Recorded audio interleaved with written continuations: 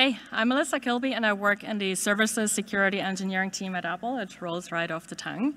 When I first started in cybersecurity, my initial focus was on applying statistics, AI, ML, and big data to threat detection. Over time, I realized that there were many gaps in terms of collecting the right data. I then pivoted and started helping develop low-level Linux kernel monitoring tools and deploy them to production to gain first-hand experience of what is realistic and scalable.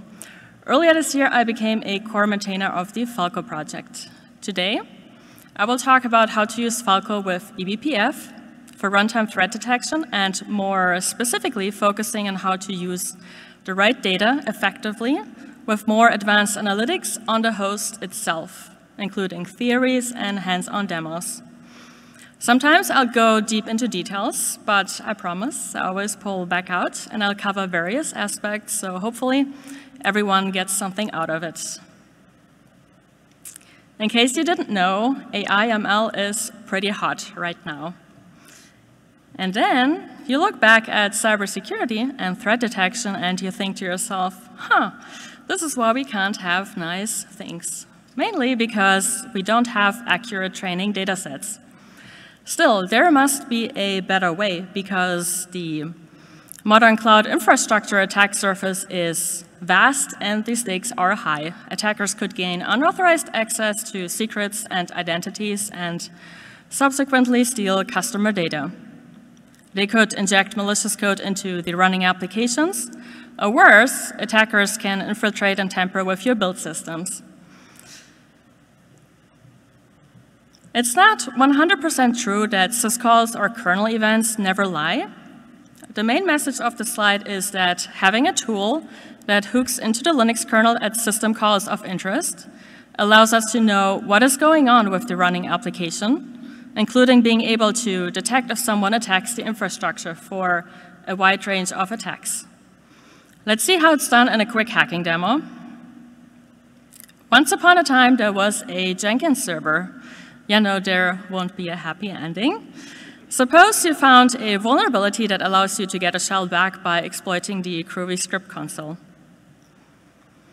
The Java parent process spawns a child process that creates a base64 encoded file in the temp directory. Subsequently, this file is being decoded. In this attack, it is an ELF binary. Next, permissions are changed to make the binary executable. Finally, executing this implant results in sending a shell over the network right to the attacker. Over this reverse shell, the attacker can run post-exploitation commands, possibly elevating privileges, stealing secrets, or a pivot further in your network. This demo also introduced the important concept of the Linux process tree that I want to explain in more detail as it's going to be important later. In the animation, you saw how new processes are spawned, and now you see all of them displayed together, as if we logged all execve system calls over time. However, the Linux kernel defines the process tree in terms of how it looks right now, considering only processes that are alive. Falco mirrors the kernel's view of the process tree and also allows you to traverse the parent process lineage in real time for each incoming event. A little shameless plug, this is a really slick feature of Falco. Under the hood, Falco keeps a cache of processes, or more precisely, of threads. We store a struct for each thread that contains all the properties we're interested in, such as command args, the TTY, the executable path, environment variables, the C group it belongs to, and many, many more attributes. We purge the entry on exit from the table, and because things are never perfect, unfortunately, there will be broken links sometimes. Partially because of tooling limitations, but also because of edge cases in a Linux kernel that are harder to keep track of. Looking back at what Falco can detect today, the quick hacking demo already introduced remote code execution, RCE.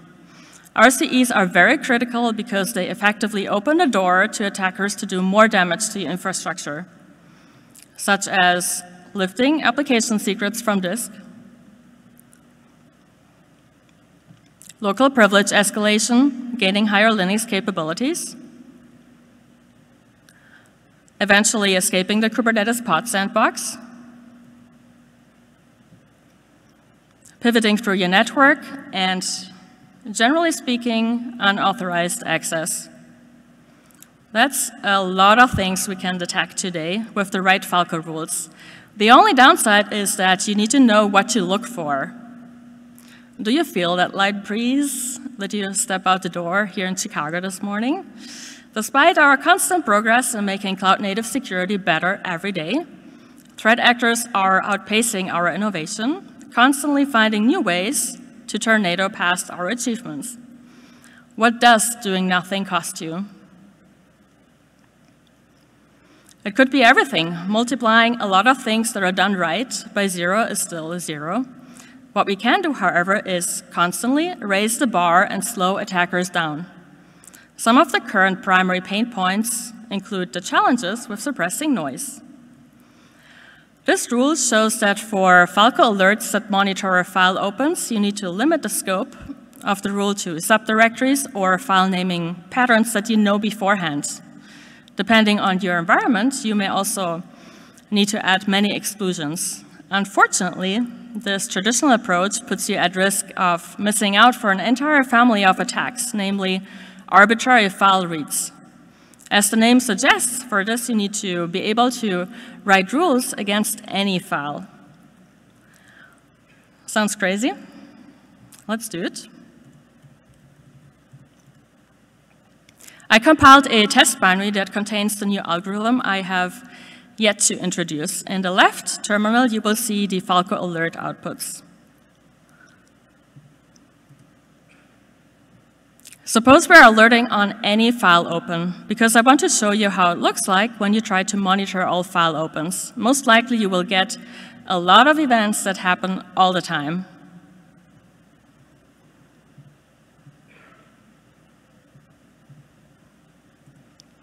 Let's run the same test binary again with the new automatic filtering capabilities, and very quickly we're suppressing the obvious noise.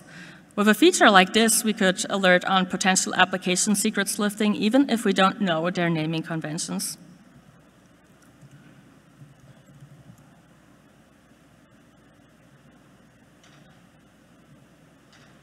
Therefore, implementing frequency counting of Linux kernel events will be useful for security to build future anomaly detection. It can be a first step towards shifting the information uh, asymmetry in favor of defenders. In theory, we are the ones who have access to all data, so we should take advantage of our ability to learn an application's normal behavior. I must admit it's not going to be exactly that easy. For example, what about memory attacks? syscalls related to memory or I.O. are so high frequency compared to even file opens that on busy servers it will be very difficult to process all events in real time without either a massive performance hit or starting to drop events. Therefore, just keep in mind that much more engineering work at multiple layers is required to expand monitoring capabilities in this regard. However, the arbitrary file read demonstration showed how accessing and encoding all the rich information readily available on the host can be a game changer. Because it's one example use case you definitely cannot solve off host in a data lake compute environment. In summary, rule-based detections focus on what we think attackers will do, not on what they are doing. Attackers simply don't play by the rules. They, they do the opposite, which is why staying ahead in Linux runtime monitoring is so hard. Having data, rules, and monitoring in place for known attacks is a great baseline, but it's often not enough. This approach is also very time and engineering consuming. So why not stop playing by the rules ourselves and speed up novelty discovery and adaptation? Using mathematical models to determine a pattern of past behavior has the added advantage that even if an attacker knows about it, it will be much harder to plant in and bypass such monitoring. As a result, we may be able to slow them down and drive up the operational costs of their attacks. Switching gears, Everything I'm presenting now, including the first early prototype demo from before, is a work in progress for Falco. Let's dive into the frequency counting approach we could use in Falco in real-world production to solve some of the challenges I just presented. The background image already sets the stage. Mathematical approaches always involve matrices or tensors in one way or another. By the way, The Matrix is one of my favorite movies. The question for you now is, do you take the blue pill or do you take the red pill? Just kidding. Follow me. We're about to enter the Matrix. The North Star is to derive a smart mapping of endpoint processes to Euclidean space such that similar events are close by in that space and unusual or abnormal patterns stand out, enabling us to monitor and analyze any behavior outside of past behavior in a more abstract and generic way. In simpler terms, we are talking about data compression. For Falco, we have some interesting requirements. The rate of kernel events on real servers is so high that performance must be prioritized over accuracy, while still providing the value you need. We need to achieve frequency counting of large data streams in sublinear space using constant time complexity. I believe in using established algorithms. Furthermore, we need to be able to deal with different data types and create a versatile solution that can be applied to our special field of cybersecurity. As a first step, I propose to use Count-Min Sketch, which was invented 20 years ago, an algorithm for probabilistic frequency counting of buckets. I will introduce the base algorithm in the next slides, skipping all the variants that exist by now. A Count-Min sketch is a two-dimensional array with d rows and w counters each. The rows will be d-independent hash functions. They should be non-cryptographic, 64-bit should be fine. They should perform well at RAM speed and have, for example, favorable avalanche properties, meaning slight changes in the input do not result in large changes in the output. The number of buckets is much smaller than the universe of possible values. Hence, this is why it's called data compression.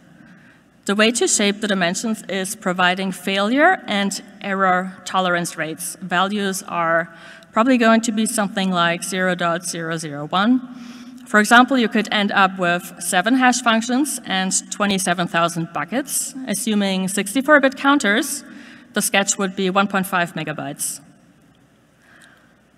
When we receive a new value, we loop through the hash functions, compute the hash value, and take the modular to the number of buckets W to get the vector index. We then increment the counter at that index.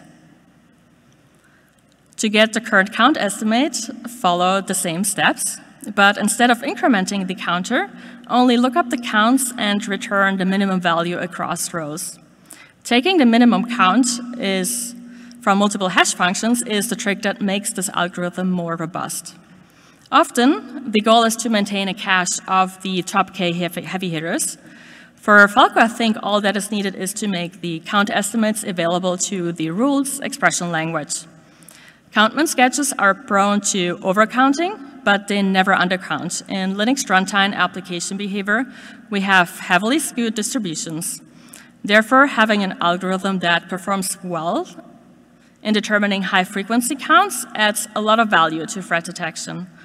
Of course, Count-Min Sketch will not automatically find and be able to tag an anomaly that is malicious, but that is not the goal. We want to automatically remove all irrelevant data so that we can be more adventurous and broader in our monitoring scope using normal Falco rules. The key takeaways are that unlike hash tables, we use less and fixed memory to kind of achieve the same results, as overcounting will be within an acceptable error.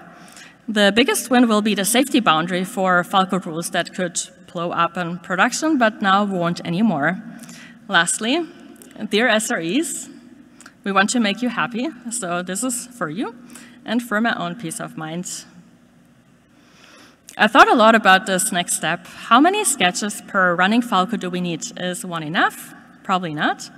Initially, I believed that we should have separate sketches for each container, since it seemed logical to treat each container in isolation.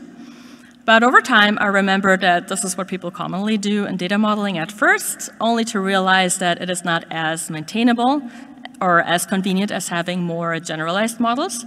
For example, Netflix first had separate movie recommendation models for each country, but later collapsed them into a single global model.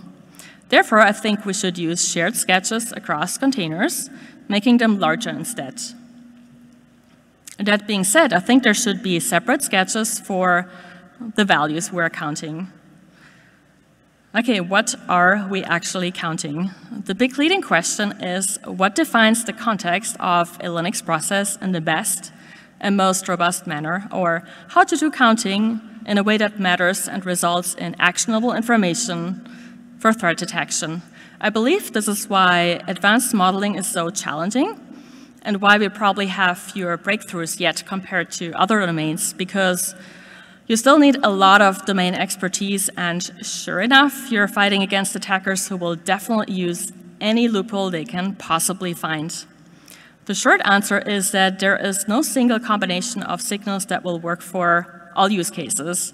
Instead, you need to encode your data in different ways, and slice and dice them a little bit. This is why I propose using multiple sketches. Your first sketch could use the container ID, process name, TTY to encode interactive activity, the executable path, plus parent process lineage, plus names of the process group and session leaders, to count how often we have seen the same shape and form of process origins before.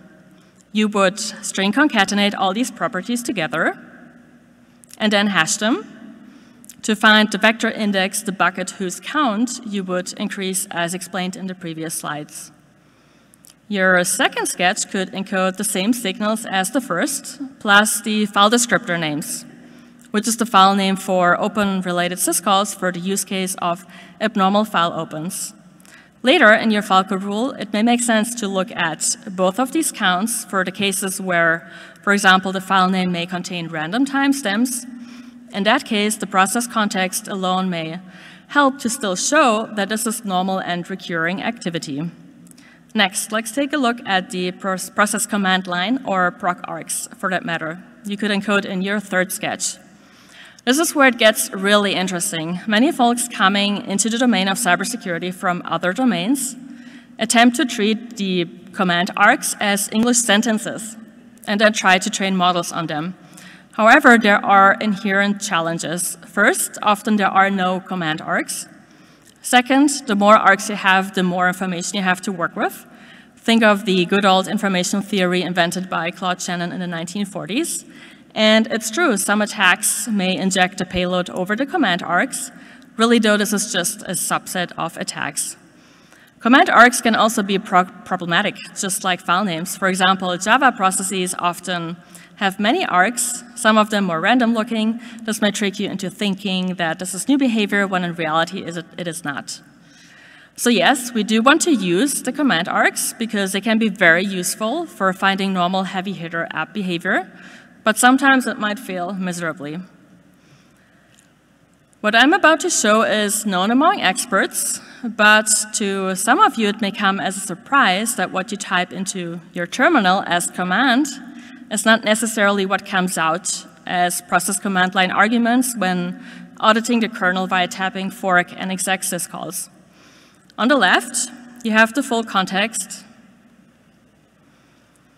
this is what I would type into my terminal. This is an input to my shell process. On the right, you have what would be logged as args in execve syscalls.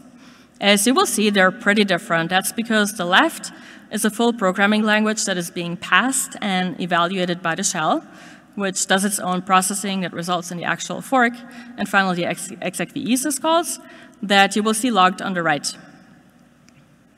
On the left, you have a program that executes bash and tells the shell to open a TCP socket to the provided IP and hook bash standard in, standard out to the socket. On the right, you see that all of the TCP setup is missed. The next two lines on the left are programs that invoke, invoke shell built-ins like echo and read. These are implemented by the shell itself, so no external program is needed. As such, no external execve syscalls are made that would allow us to see these critical intermediary steps.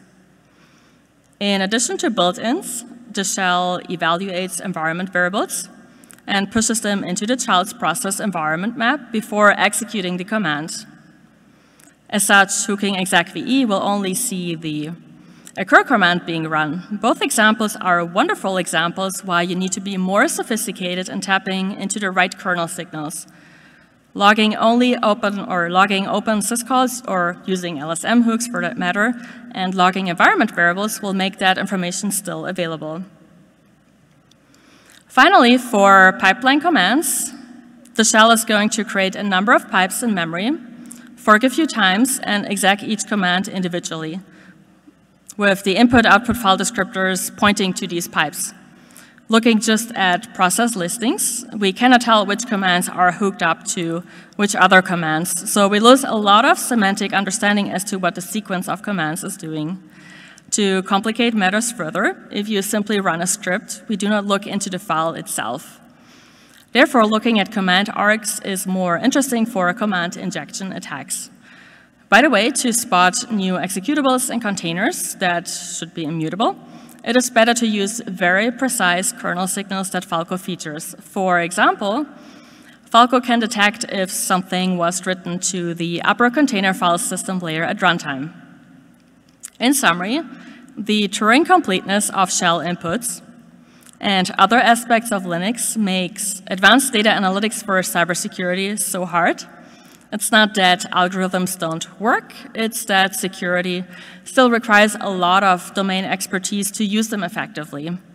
This statement extends to the decision of when to use modeling approaches versus when to better invest into super robust kernel signals like the methods I mentioned for detecting new executables. Here, I would like to reiterate that I think the frequency counting proposed is best used in combination with additional Falco rules filter expressions. So don't try something like this in production. But remember what I showed in my first demo, it's still crazy that we can now potentially detect any abnormal file opens without needing to know the file naming conventions for custom application secrets. It's now time for another demo.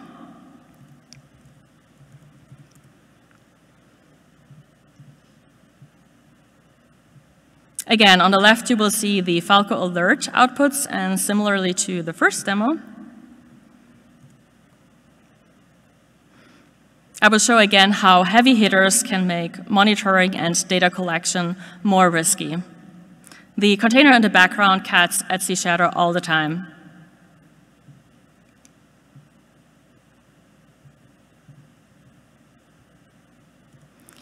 Now, running the same test binary with Count-Min sketch powered filter expressions will quickly perform probabilistic frequency counting and silence the noisy output.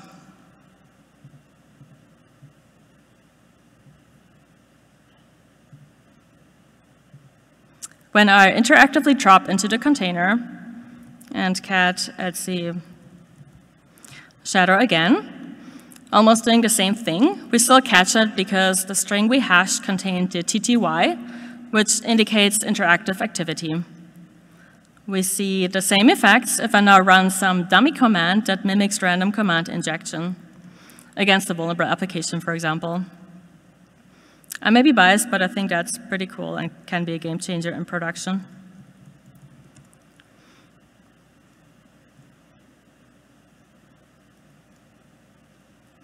Here are a few recommendations for how I tend to go about contributing more significant paradigm shifts to the open source Falco project.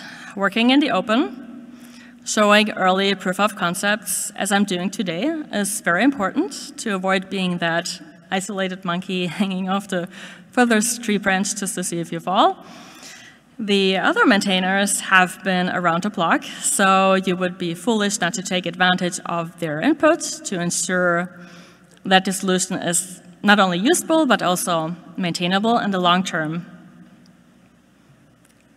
The early release phase is very interesting because now you have to ensure that the software is user-friendly and that you help newcomers to the field learn how to use the new capability. In addition, the framework should be extensible so that other contributors can expand it and improve its analytics capabilities over time. If accepted as a stable feature, the community will have deemed it useful and feasible for real-world production, and more investment will be made in the future. In this talk, we have discussed how learning, velocity, scalability, and cost can be improved in security. By learning the normal high-frequency behavior of applications and accessing more information on the host, we can increase the chances of detecting unknown attacks. This is important because traditional security approaches are often unable to detect novel attacks. Big exclamation mark here, we still need human domain expertise. We can now adapt to changes in application behavior and detect new attacks more quickly than traditional solutions. They can also scale to meet the needs of large and complex environments. We can reduce the cost of security by avoiding the need to manually tune and maintain traditional solutions. Additionally, they can help to reduce the cost of data storage and processing by avoiding the need to send all security data to a data lake for analysis. Overall, learning-based security solutions offer a number of advantages over traditional solutions. Okay, thank you for having me here. And I thought I would be going close to the end of the presentation, but it seems like I do have some time for some questions.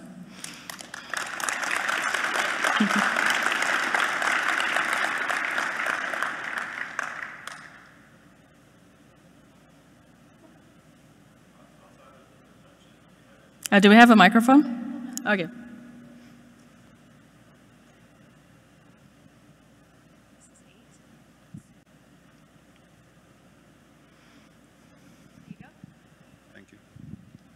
Um, outside of the detection, do you have any uh, remediation um, options with that too? Is it just mostly just detecting? Yeah, so this talk was only about detections on the host itself. There probably would be many other talks about how you would go about similar algorithms or procedures in a data lake compute environment, or as you said, for incident response or for uh, other aspects of security. So again, this was only focused on do more advanced data analytics on the host itself because you can tap into data that otherwise you could not. This is why I was highlighting the file open example because it would be crazy to send off all open syscalls off the host. You basically cannot do it.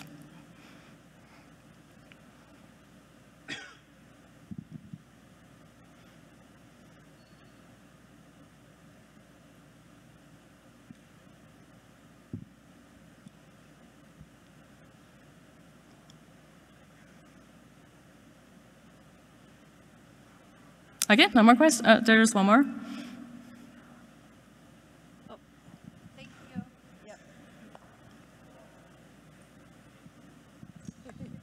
Thank you, I appreciate that.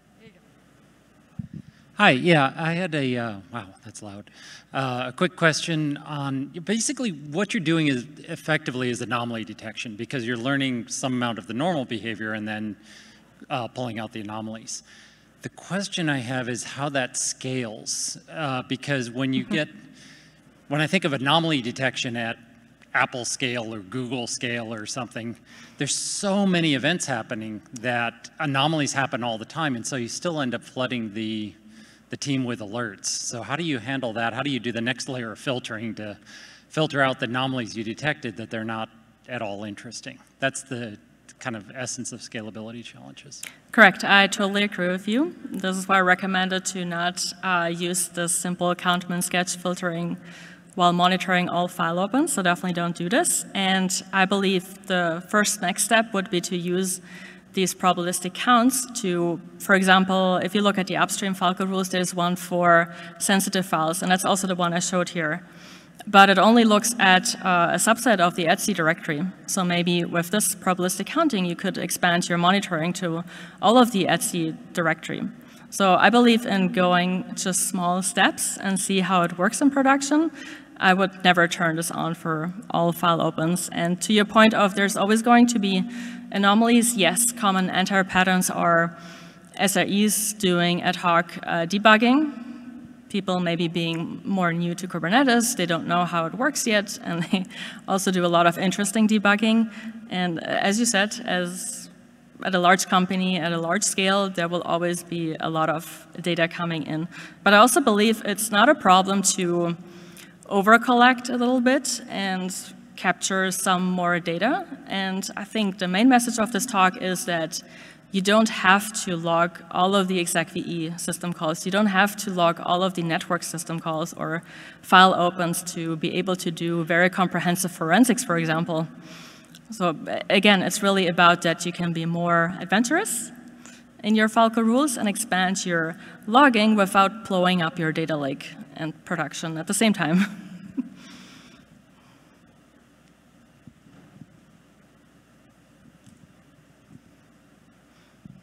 I think we have one more question right here. okay.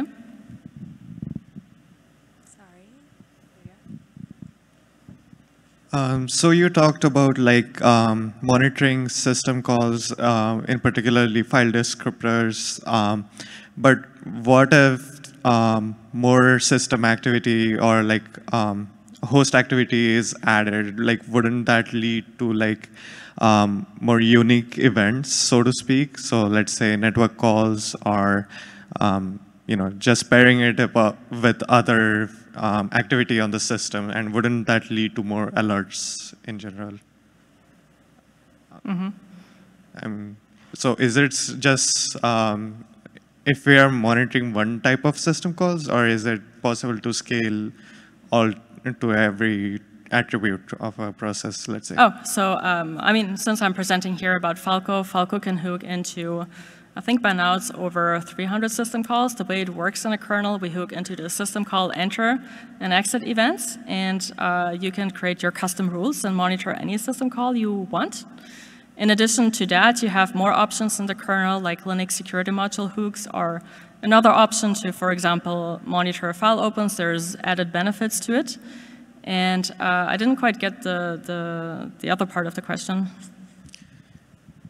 Um, I mean, basically, it um, uh, detects one common pattern, right? And mm -hmm. then that way it's able to reduce the alerts. But if mm -hmm. we add um, more monitoring, wouldn't that lead to more unique scenarios or cases leading to more alerts, uh, so to oh, speak? Oh. Okay, yeah. yeah, I bet. So this is why I always recommend to be very conservative in production and first try one little thing and then go from there. And what happens today, if you have Falco rules that are let's say, considered to be more data collection. They're not expected to fire just on malicious activity. Sometimes what can happen is that it works well for months, and then it totally blows up. So I would really like to stress that the biggest advantage of this will be the safety boundary, that these super heavy hitters you can just automatically tune. And in addition, doing this manually, it's a lot of engineering time and effort. So I would be since I deploy to a very large environment, there's going to be left, more time left for me to work on these features and not constantly tune the, the, the rules. Um, so pretty new to Falco here. Um, if you could tell me, you know, maybe using like a tool like S-Trace that's, you know, a lot more lightweight versus what's, what's the advantage that Falco brings? And is there any overhead added or if you could go a little bit into that? So I would recommend to you S-Trace is for ad hoc debugging and Falco is for comprehensive monitoring in large production environments. Uh, my favorite uh, part of Falco is the rules expression language. It's very powerful to really tell Falco what to monitor on the host. And in combination with that one, I think we can, we can really shift the information asymmetry just a little bit. cool. Thank you so much.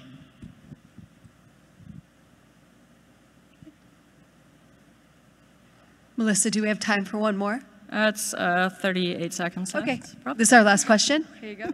Real quick, uh, does Falco have any way of mapping processes to the pods that are, are running that process so that if a pod moves to a different host, you can maybe track that behavior? Oh, okay, so try, when it moves to a different host, uh, that's an interesting question, but yes, we do hook into the container runtime socket and we fetch all the common Kubernetes and container information such as container name tag and also namespace and pod name. And uh, by the way, we're currently reworking the K8 client to tap even into more Kubernetes fields.